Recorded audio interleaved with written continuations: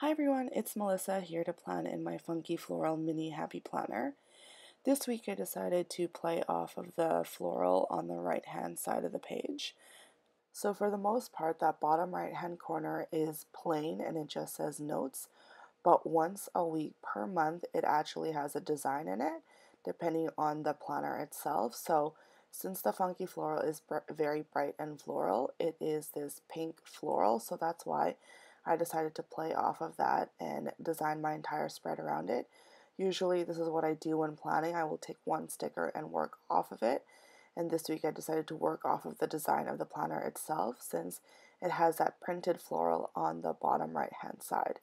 So I decided to pick this um, Today is Your Day sticker that covers all of Wednesday and then pick another floral from the Choose Happy mini sticker book. I love the sticker book. I think anyone who's even not planning in a mini should definitely get it because all of the florals in it are so pretty.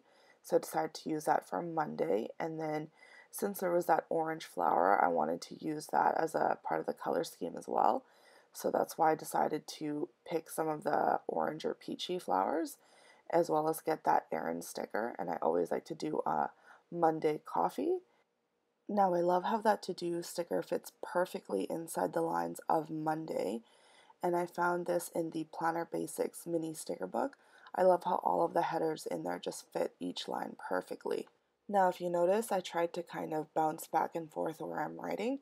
So for example on Monday I'm writing on the left hand side, Tuesday I'll be writing on the right hand side and then for Wednesday I will be writing in that big box sticker so I try to switch back and forth the size as to where I'm actually going to be writing each day. I find that keeps me interested in the spread. So I also noticed that that floral sticker on Monday has this dark blue in it, so I decided to use that in Saturday's checklist and as well as pick a banner over the Friday that goes with that color scheme as well.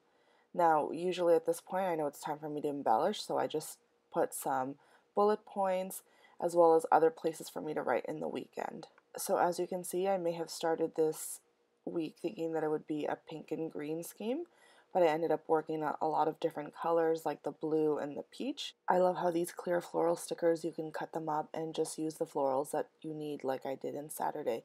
If you like this video, please click like and don't forget to subscribe.